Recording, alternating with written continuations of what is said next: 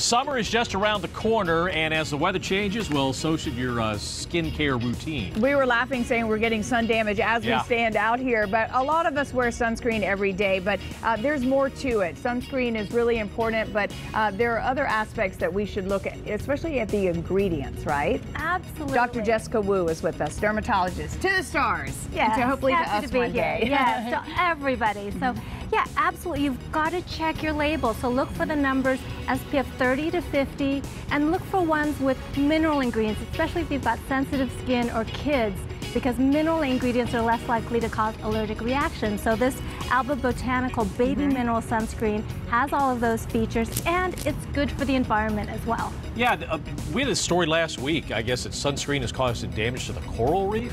Yes, it turns out that the biggest news in sunscreen this summer is that just this month, the state of Hawaii passed a bill that would ban the sale of certain sunscreen ingredients, including oxybenzone, that could be toxic to the reef. So stick with your mineral sunscreen so it's good for you, your kids, and the coral reefs. And is the minimum 30? Yes, minimum 30. That's the number I tell my patients to look for. Okay. Let's talk about uh, people who have oily skin. What what should they do?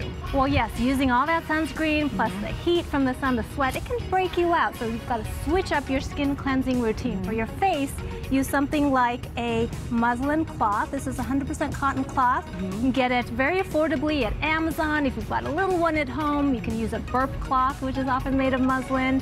This fancy one is from Sephora. Squeeze your cleanser on it. It'll help It'll help dislodge any sunscreen particles, help prevent breakouts. And these are great too. These are love wonderful for the body. It's for good for chest acne, for butt knee on Yeah, the rear end. yes. Look for body scrubs containing AHA alpha hydroxy or BHA beta hydroxy acids, like the Skin Fix Renewing Scrub. It's got lactic acids and glycolic acid to help unclog your pores. Do it a couple times a week so your skin's soft and smooth. What about the people that have uh, dark patches on their skin or rosacea? Yeah, well, it turns out that UV rays can cause heat, and heat can worsen rosacea and melasma. So if you've got either of those conditions, stay cool, stay indoors, turn on your fan. If you're outdoors, Memorial Day is coming up. What I tell patients, get one of these portable fans. I got these at the drugstore. Or even easier, take some cold washcloths and wring them out in cold water, mm. stick them in some Ziploc bags, and put them in your cooler or your ice chest so that Oh, when you're hot, put it on your face to keep your skin cool. That's nice. Okay, so we also do live in the desert, so a lot of us have dry skin, and you have examples for that too. And be sure to wear your flamingo eyeglasses. Yeah, who are- Right. who, are these for? They're for You- you. oh my got them just goodness. For you. If you've got dry skin, stay hydrated. When you're wearing your flamingo glasses, stay hydrated.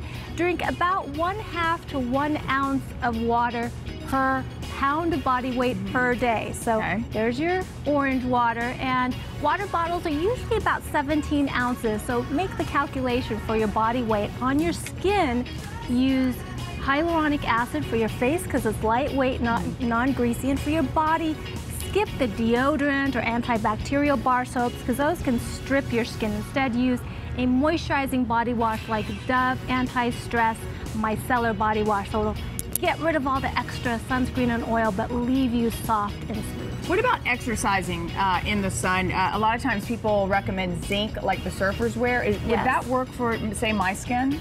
Yes, zinc oxide, Mm-hmm. um, especially, it's, it's especially good for if you're going to be in the water because it grabs onto your skin Mm-hmm. Yeah. and doesn't rinse off. So Okay. zinc would be wonderful, especially if you like to work out outside, so it doesn't melt off. And it's a great skin. blocker.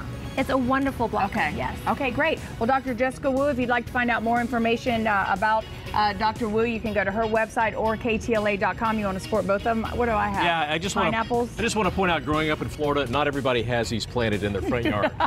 okay, some do, but not everybody. You're very cute. All right, we're going to go to break and we'll be right back. Thank you. You're Thanks.